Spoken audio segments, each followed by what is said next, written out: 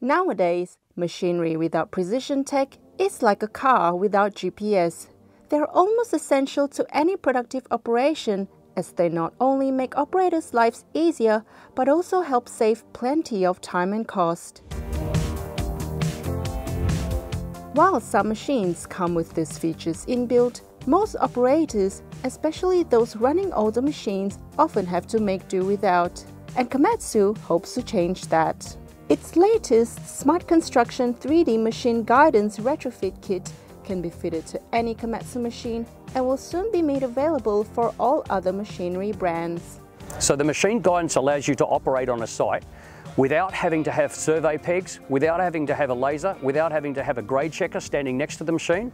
So the user uh, has on the screen, he has the, the 3D machine model of what has been designed and he's then operating to that and he's able to do that uh, just guiding it himself. He's also able to use um, many features that would traditionally be done with using a laser. For example, he can uh, touch the ground and set that at zero and then dig to say two metres below that in order to be able to put a culvert or a pipe in at that particular grade. And he doesn't need anybody interacting with him to be able to do that.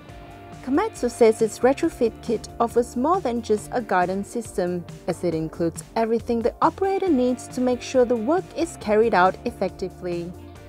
We've included everything we possibly can into the kit, so we have uh, a UHF radio, it has modem, installations included, but we also have payload, which is a, a, very exciting thing for us to release into a standard machine guidance product, as that's normally a, an optional extra outside that you would have to pay for outside of the cost of the machine control. So, and this adds real value and, and benefits to the user, both from the, the payload side and from the machine control side.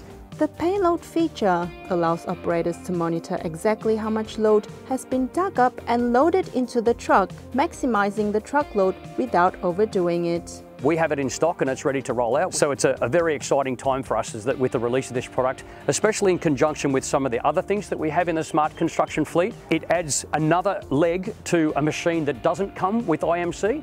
We're working on a vast range of smart construction apps that are in development. Um, some of these are, are, pending release right now and some of them are still in development, but uh, you'll have to stay tuned and see what's coming from that side, but it's very exciting.